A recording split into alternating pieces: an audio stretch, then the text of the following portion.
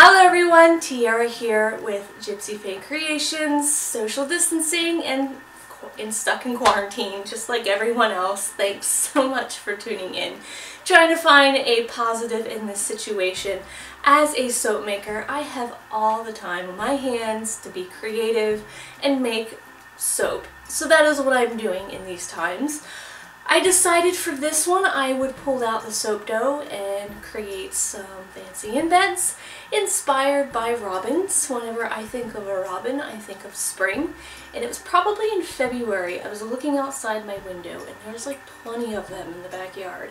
Spring is right around the corner. I thought I need to make a soap inspired by those pretty blue shells on the eggs that they lay. So we're going to be doing a Robin's Egg Blue soap today. It is available in the Etsy shop because today is a shop update day. You will also find other soaps like the cactus cupcakes, the succulent soap, there's a few other cupcake soaps in there, the orange commander, and again, being in quarantine, I have no excuse not to do some restocks. So you will find The Boy Who Lived in there, Hazelnut Cappuccino soap, and if you weren't lucky enough in January to get the Golden Snitch soap, here is your chance. It is a very labor intensive soap, even when it comes to the packaging. I hate packaging this soap, I'm always afraid something's to break. It is very difficult. So with that said, this will probably be the last time, if not for a very long time, that you will ever see this in my shop. So if you need to go snatch yourself one, you better go catch it because again, I don't know when I will be redoing them unless there's some other quarantine that I'm not wishing for. so again, shop update, Go look and see if there's anything that you fancy. If not, you won't hurt my feelings. But let's get started and let's make a robin's egg blue soap today.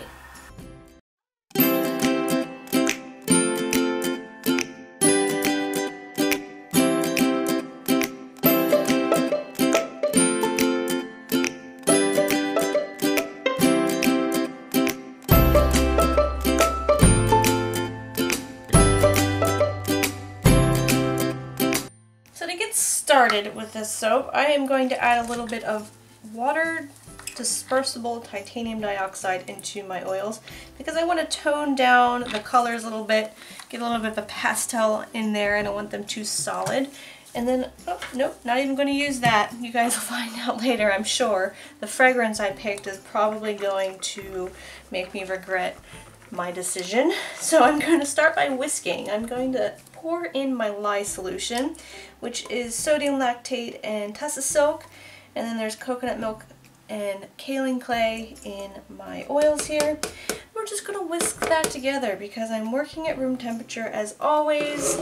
And the fragrance I picked out is probably going to cause problems. So we're keeping this at a very light trace and crossing our fingers. Alright, so I'll keep mixing this until everything looks like it is incorporated. And then we'll split this off to a couple different colors. Gosh, this, this kind of hurts my arm. Like, if you do this enough, it's the workout. I wonder what people in the old days when they made soap, what they did. Take forever. Have some soapy arm muscles.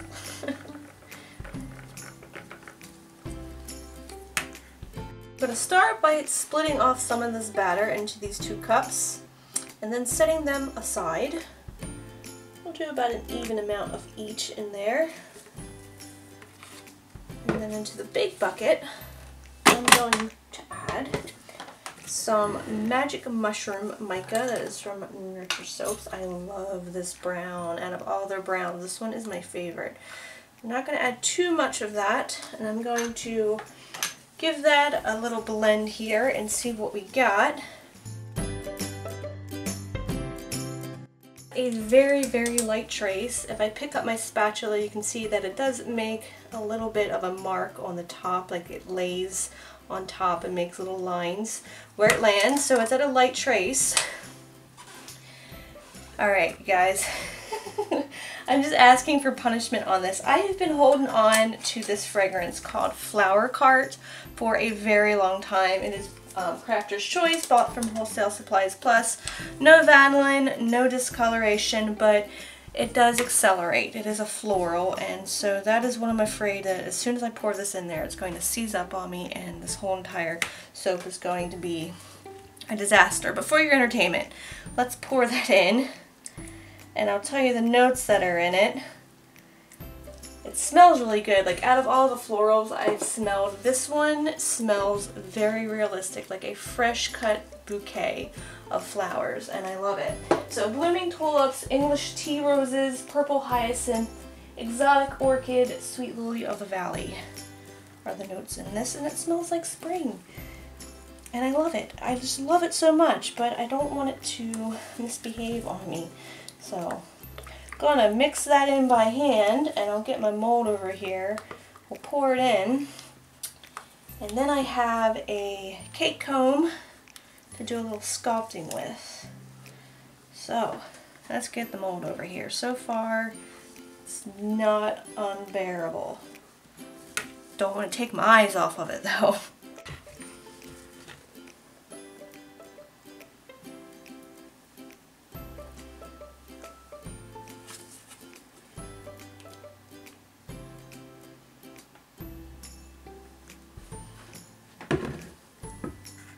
if I can get this cake comb through it. I'm going to use this end. I've used this one before, but not that one. And obviously I've got the wrong one. Try that again.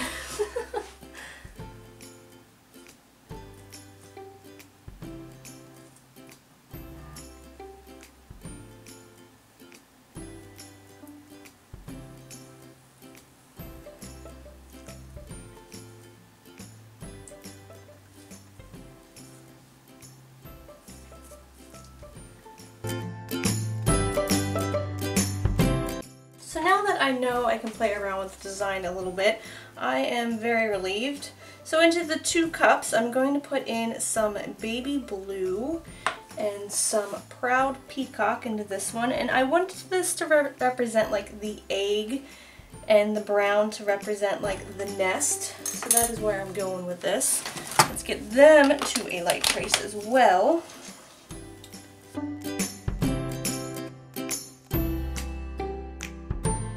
Colors. So I'm going to mix in the fragrance again by hand. I'll do a little in the pot swirl and then I will layer it over top of my sculpted layer in my mold there. How is everyone doing today? I hope that by the time this video comes out, the virus pandemic that is currently going on right now has come and gone and in the past and we can all kind of laugh about it and say we survived. That would be nice and think that it was very well handled, but for now I am stuck in the mists of it. It is a very real thing right now. I thought I was going to get on here and tell everyone how much um, fun Bradley and I had over a weekend trip. We had bought tickets six months in advance to go see an Irish band called the High Kings and do a little day trip in Annapolis and it was all canceled. Everything has been canceled. Like my sister's bridal shower was canceled. I thought March was going to be the busiest month ever for me and it seems I spoke too soon. It's going to be the laziest, saddest, most depressing month ever. But we will survive.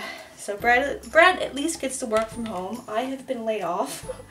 That's not funny. Until April 6th, if not longer. So hopefully I can just keep soaping if I can find the distilled water that I need. That is the worry right now. Distilled water is just flying off the shelf.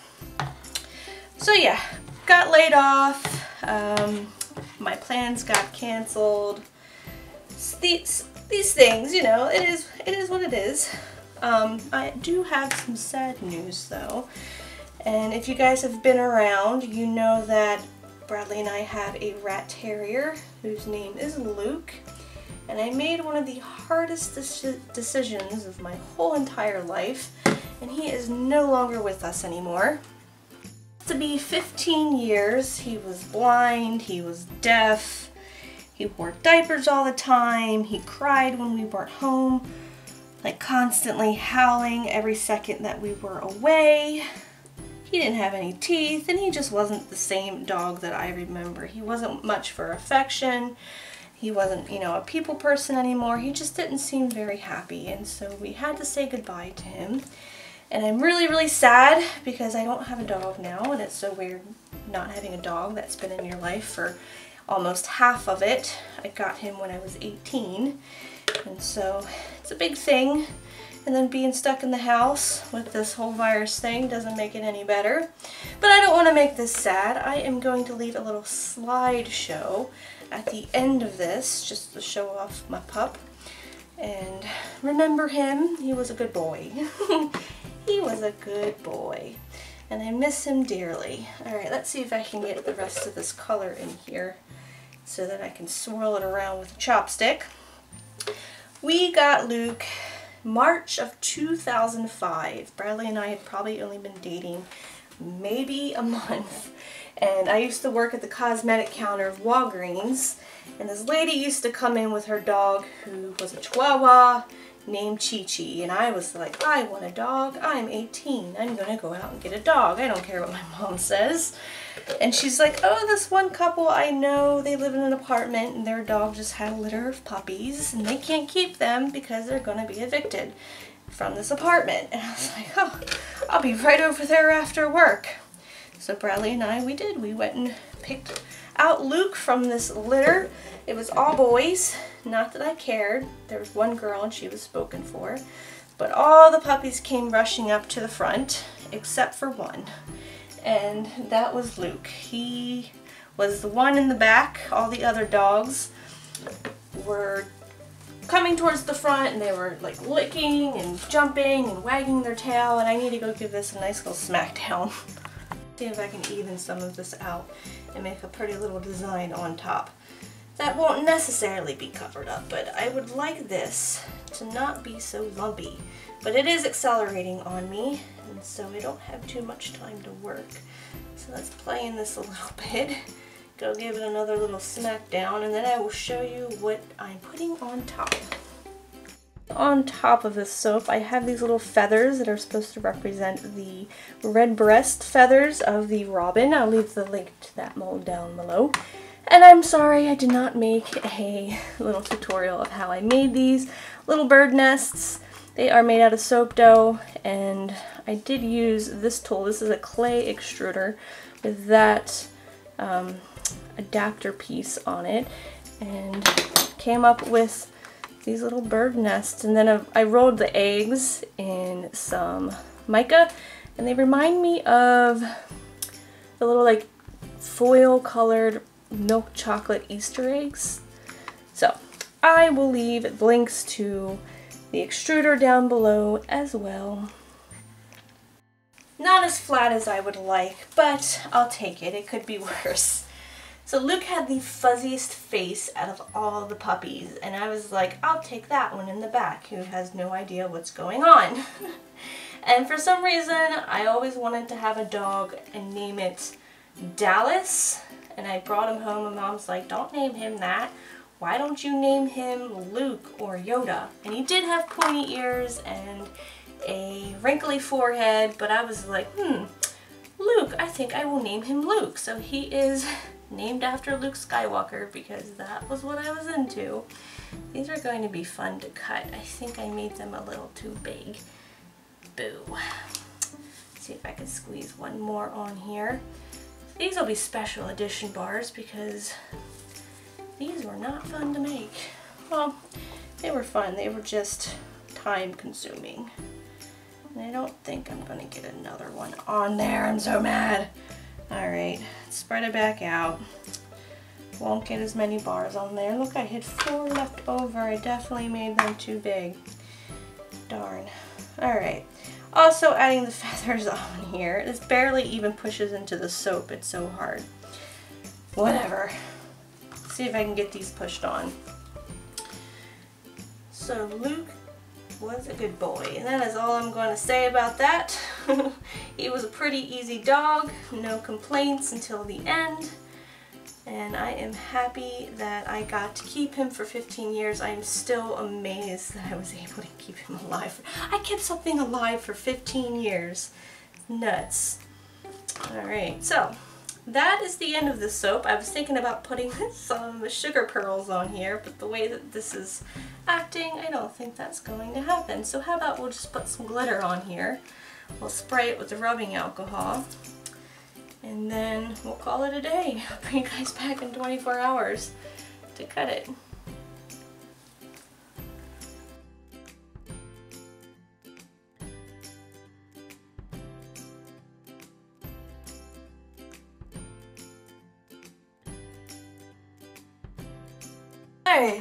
Let's see if I got the design that I wanted.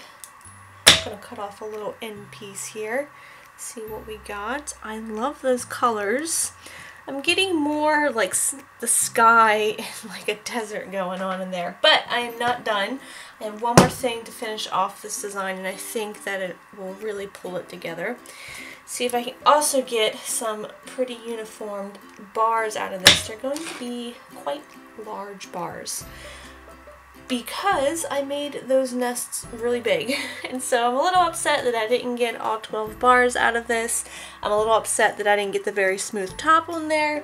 But considering the fact that I expected worse, I am not going to complain. So, on, front, on the front of this, I'm going to put some robin's eggs that I made out of melt and pour um, kind of like floating on the top to make them look like they're sitting inside of a nest and that will be the end of that design. The little extra bird nests that I have, I'm thinking I'll create a couple little soaps, maybe some pie shapes or some cupcake shapes and in order to use them up because I did put a lot of work into them and they are really cute so they will find their way on something and in the shop at some point. Which brings me to the fact that don't forget today is a shop update. You can find this soap, you can get the cactus soaps, the succulent, the honeysuckle, a couple cupcake soaps. Those are all in the shop today, so be sure to head over there. Thank you guys so much for watching. I hope you enjoyed this video. If you did, you can give me a thumbs up if you enjoyed soap making. Eh, in any of my videos that I do, it's probably soap making, so be sure to stay tuned for more. Any questions or comments, you can leave them in the comment section down below. And until next time, I hope you have a very nice day, and I will smell you later. Also, don't forget, I'm going to leave the attachment of the melt and pour eggs at the end of this and a slide, slide show of Luke.